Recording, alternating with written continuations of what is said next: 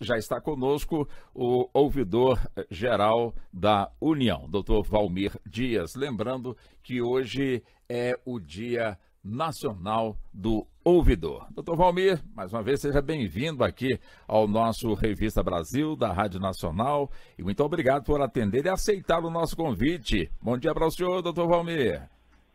Olá, Walter Lima, é, bom dia. E é um prazer, mais uma vez, conversar com você e com toda a audiência do Revista Brasil. Muito obrigado ao senhor pela, pela gentileza.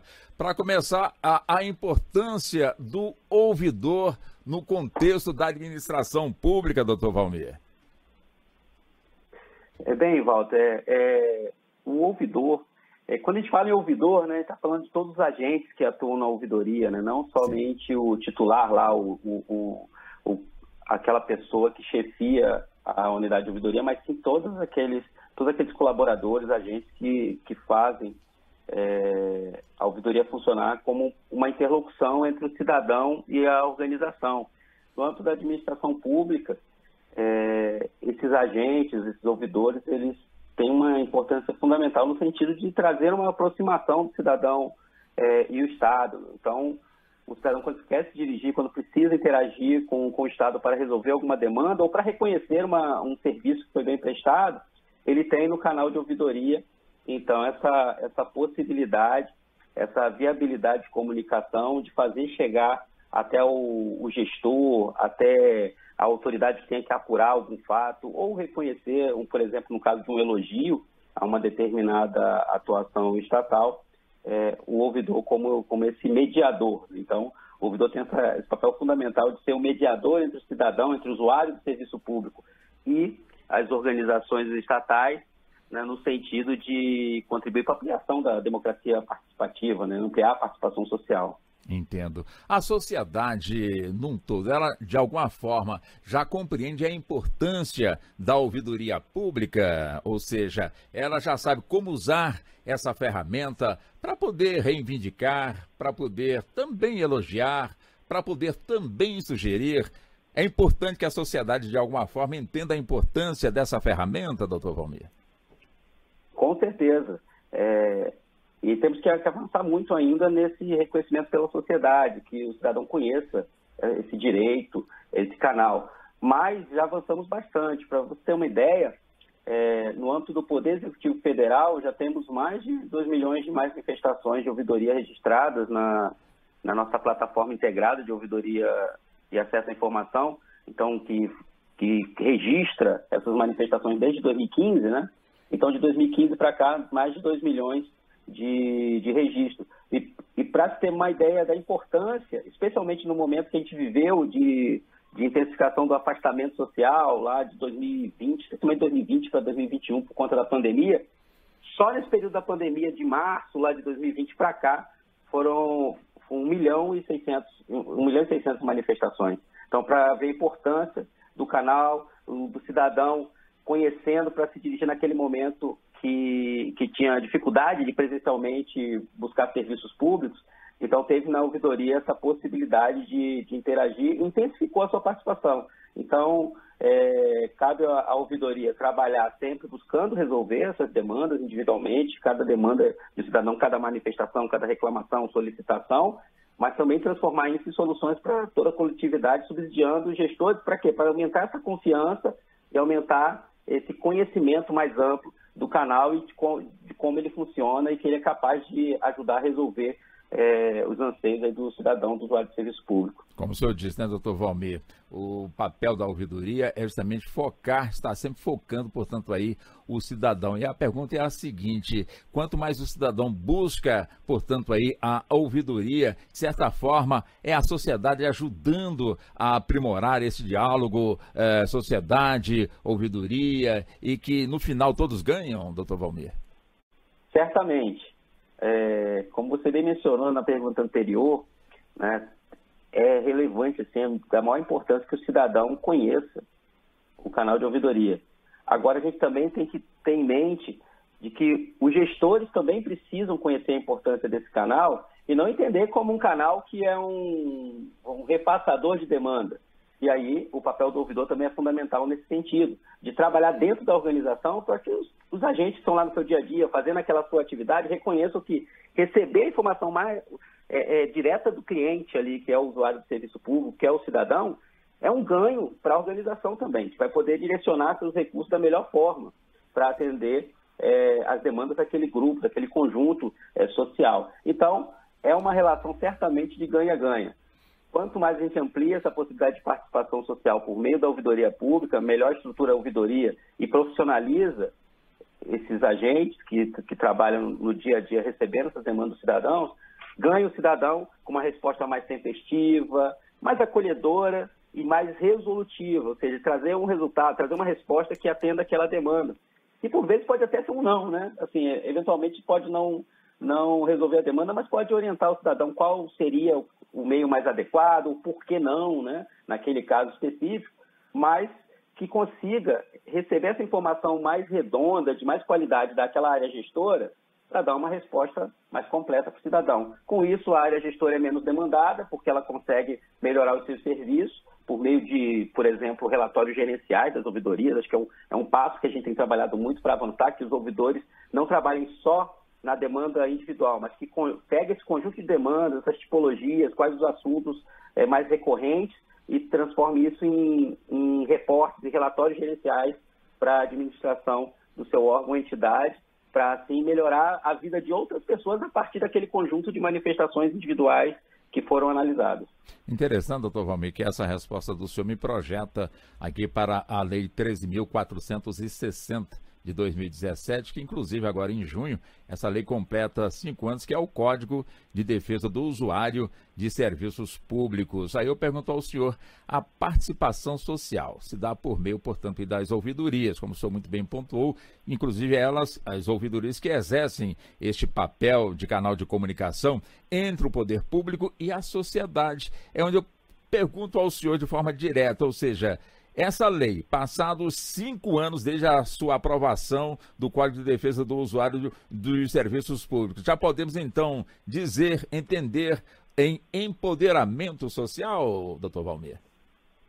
Walter, não tenho dúvida que a Lei 3.460, é, conhecida como Código de Defesa do Usuário de Serviços Públicos, trouxe assim, significativos avanços nesse sentido é, especialmente por trazer diretrizes nacionais para participação social e proteção de defesa dos direitos dos usuários de serviços públicos, né? Porque o trabalho da ouvidoria, por exemplo, é algo que há décadas vem sendo desenvolvido, tem é, agentes é, que historicamente lutaram por isso, organizações, instituições, mas a lei traz uma padronização nacional, né? ela, ela traz competências gerais para as ouvidorias públicas que possibilitam a sistematização então, da atuação dessa, dessas instâncias aí de participação social em âmbito nacional. Isso realmente é fruto de um trabalho árduo é, de anos, né? de agentes, de, de instituições, né? para o fortalecimento de uma política nacional de ouvidoria. Então, esse é um caminho, a gente está num caminho, avançou muito, realmente a Lei 3460, da Lei, 400, da lei 3460 para cá, é, é notável assim, os avanços que nós tivemos, né? Ela viabiliza a construção é, dessa, desse empoderamento, é uma indutora de avanços em regulamentações e normatizações em todo o país. De 2017 para cá, a gente começou a ver uma série de normas e legislações surgindo para melhor é, detalhar os comandos da, da lei. Eu posso citar, por exemplo, a regulamentação em âmbito federal por meio do decreto 9492 de 2018, que criou o sistema de ouvidoria do Poder Executivo Federal, né, sistema que tem por órgão central a Controladoria Geral da União por meio da Ouvidoria Geral da União, e aí que permite, por exemplo, normatização de procedimentos uniformes entre mais aí de 300 ouvidorias federais, sendo o mais estruturante deles a utilização da plataforma integrada de ouvidoria e acesso à informação, Fala BR, que assim como no governo federal, assim, faz com que no governo federal o cidadão ele acesse uma única ferramenta, um único meio, um canal é, uniformizado, vamos dizer assim, para direcionar suas solicitações, sugestões, elogios, denúncias uhum. e também os pedidos de acesso à informação aos órgãos e entidades do Poder Executivo Federal. Então, nós temos, por exemplo, como mencionei, de 2015 para cá, mais de 2 milhões de registros na plataforma e, e no, na LAI, de 2012 para cá, são mais de um milhão de, de registros, que hoje né, desde 2020, agosto de 2020, estão integrados no, numa única interface com o cidadão por meio da plataforma Fala BR. Entendi. Quer dizer, a gente falando de ouvidoria, claro, no, no, contexto nacional, mas é importante também que a ouvidoria, ela também alcance o nível municipal, doutor Valmir? Claro. É, inclusive, é, a Lei 13.460, ela possibilitou também é, a institucionalização de uma rede nacional de ouvidoria. Né? Em 2019, então, foi, foi institucionalizada essa rede, né, que já vinha sendo trabalhada desde 2015 de uma forma é, um pouco mais modesta, mas que atualmente ela já é composta por mais de 2.200 ouvidorias do, de todos os entes e poderes, por meio dos quais assim, são trabalho, trabalhados temas relevantes para as ouvidorias, como elaboração de norma modelo, que serve de referência para todo o Brasil, principalmente para aqueles municípios menores que eventualmente não têm uma estrutura já pronta de ouvidoria, né? Também é disponibilizada a plataforma Fala BR, por adesão, facilitando a experiência do, do cidadão, do usuário de serviço público, né, que acaba que, tanto no, âmbito federal, estadual, municipal, ele acaba nesse, nesse, nessas unidades que compõem essa rede e que aderiram à plataforma Fala BR, tendo uma única interface para fazer suas manifestações, né, e também viabiliza, o que é muito importante, a operacionalização de mecanismos de salvaguarda aos manifestantes, com destaque para os dispositivos de proteção aos denunciantes, que tem uma estreita relação com a tutela da confiança. Né? A tutela da confiança é algo importantíssimo para uma ouvidoria pública. E tem que ser uma prioridade constante da ouvidoria, porque todo, todo esse ecossistema, assim, é, vamos dizer, integrado, cria esse ambiente propício para ampliação da própria democracia participativa. Né? E a gente tem muito que avançar ainda, fruto da característica e amplitude da nossa federação, que conta aí com 5.570 municípios, dos mais variados portes e peculiaridades. Mas, apesar disso, a gente pode realmente observar um grande interesse em avançar na institucionalização das ouvidorias. E aí, só mencionando, por exemplo, desses dois, dessas 2.200 ouvidorias em rede que eu te mencionei, 1.800 unidades de ouvidoria são municipais e aderiram à utilização da plataforma Fala BR para se verificar, então, o interesse, a busca de se estruturar e contar com essa rede nacional acaba sendo é, é, uma oportunidade para essa harmonização. Isso é possível e muito em decorrência dessa harmonização de competências que a Lei 3.460 trouxe. O Revista Brasil está entrevistando o doutor Valmir Dias, que é o ouvidor geral da União. E hoje é o Dia Nacional do Ouvidor. O senhor também conversa, doutor Valmir, com o nosso editor da Agência Brasil.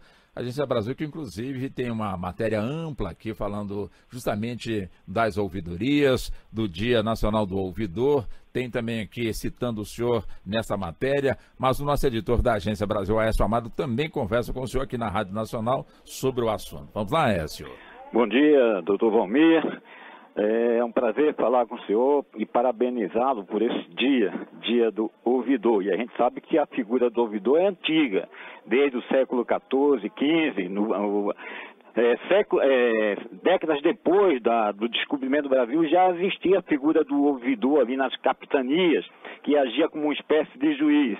Hoje está muito mais modernizado o papel do ouvidor eu gostaria de saber do seu seguinte: o, toda reclamação na ouvidoria gera uma solução? Como é que é, o governo trabalha, o setor público trabalha todas as, as denúncias, é, sugestões, queixas e reclamações, como é que é feito esse trabalho? Ele é distribuído por setores é, a qual aquela denúncia se refere? E a minha pergunta é: toda reclamação gera uma solução?